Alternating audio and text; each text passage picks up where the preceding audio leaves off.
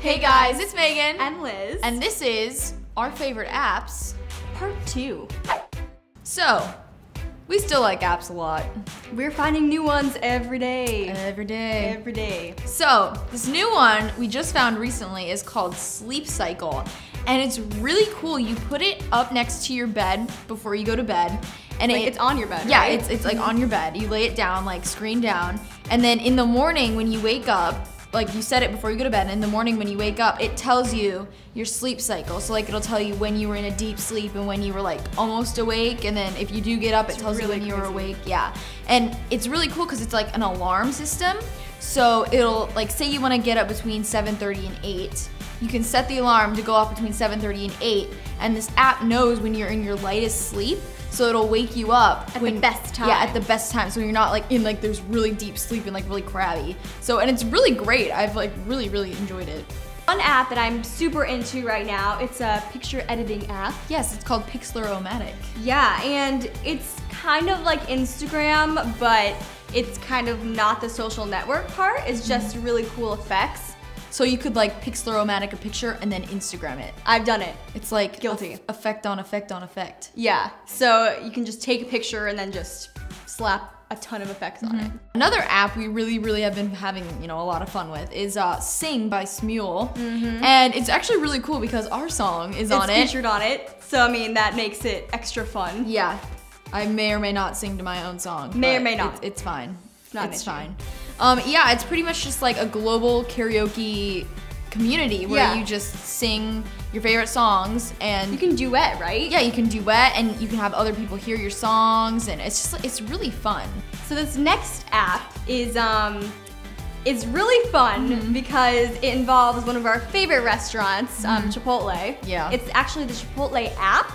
And what's cool about this app is you can place your order from the app to, you know, your local Chipotle and then you can go pick it up. Yeah, So it's pretty much bringing laziness to like a whole new level in the palm of your hand. in the palm of your hand. You don't even have to like, go to Chipotle and order it. You can just You just walk in, pick it up, and leave. Yeah, you can just order it from the comfort of your own home on your phone and then go drive to Chipotle and pick it up. So, So that's pretty awesome. Chipotle app, we suggest. So the next app we're gonna talk about is called Photo Collage. And do you ever see on Instagram or Facebook how people put, you know, two pictures or, Or three pictures? than- yeah, or- like a collage. or- yeah, a collage pretty much. Um, it's because of this app. All you do is you open the app and it tells you like where to add the pictures and you just pick which pictures to add where. Bada boom, save it to your album, you're done. Another really cool app is a music app and it's called Songza and it's just an app full of playlists.